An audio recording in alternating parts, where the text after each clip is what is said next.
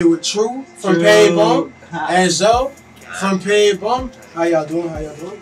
First place. Feeling good. Yes, sir. I just wanted to say real quick, man. Definitely, I was fucking feeling the music, the movement.